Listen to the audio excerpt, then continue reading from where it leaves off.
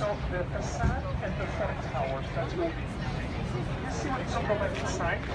The wider part. That's not going anymore.